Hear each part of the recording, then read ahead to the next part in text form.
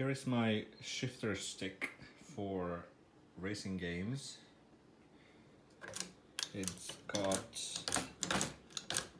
eight slots. It centers around these two, so you can use most games with the six ones. But if you're playing a trucking game or something else, you have two extra over here. The stick stays in position and when you release it, it returns to the middle between 3 and 4. It's returned by a rubber band and retained by just these gates. They have little bumps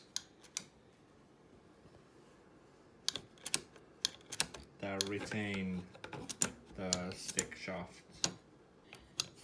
They might be tight at first, so you can use some snippers to you know shave them off a little bit. The slots all have a switch like this, a micro switch.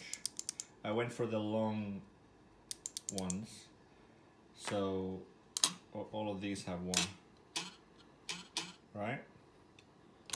And when the stick is in the slot, this Arduino here just reads that input and it works as a gamepad device so no driver is needed.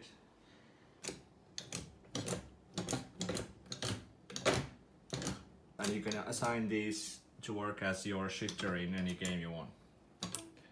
Uh, as an extra I also made a handbrake. This is as simple as it gets. It's just a stick on a screw and this other screw just decides uh, where the stop end stop is and it's being pulled by this rubber band and uh, for the switch I just bent one of these ones into shape and hot glued it on so you can drift your rally car if you want to. This is connected to the Arduino the same way. I added a little plug here so you can remove it too. So all of them are soldered through here.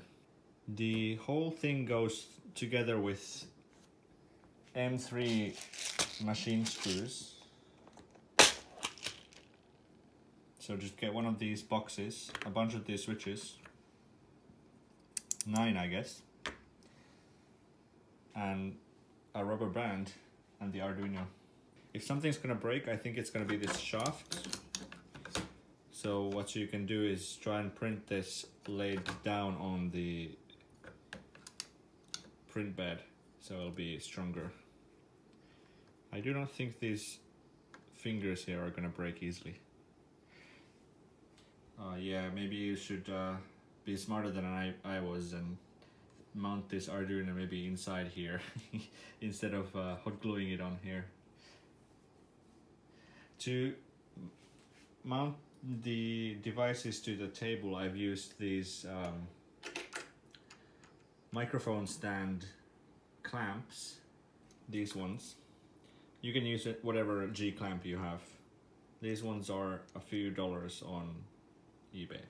I just glued the switches in place. Depending on the length of your switch feeler, you might need to extend the feeler or maybe you want to have the switches higher up so that the uh, stick interfaces with them, the shaft, right? To assemble the shifter, first you must assemble the universal joint there. The, here is a model of it. So this is the shaft, has a Y piece to it. Then there's a small joiner piece. You need four screws for it. And this U, U piece would be the base here. These side plates, you need two of these.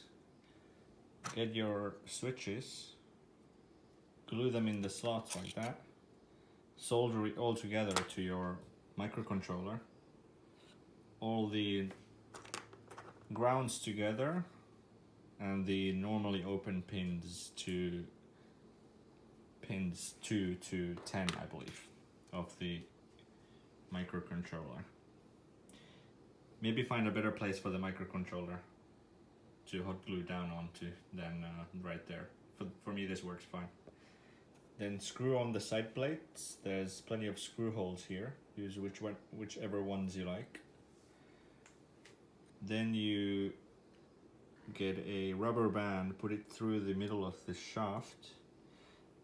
On your model there'll be two slots here to you know hook it up to like this, right? This will center the shaft right here. Um, you put the gate on. Again, there's plenty of screw holes, just use whichever you like. And after that, you'll put your knob on. There's some screws here. There's two positions. You can have it quite high or all the way down and, and just screw it on a little bit.